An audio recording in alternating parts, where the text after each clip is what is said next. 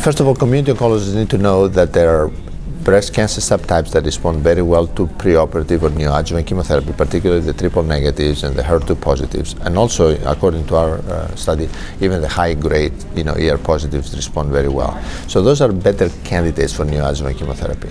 Once we achieve a pathological complete response or very good response in the breast, um, I think the oncologist uh, should know that there are available clinical trials that actually test the concept of maybe we don't need to treat all these people as aggressively as uh, the guidelines suggest.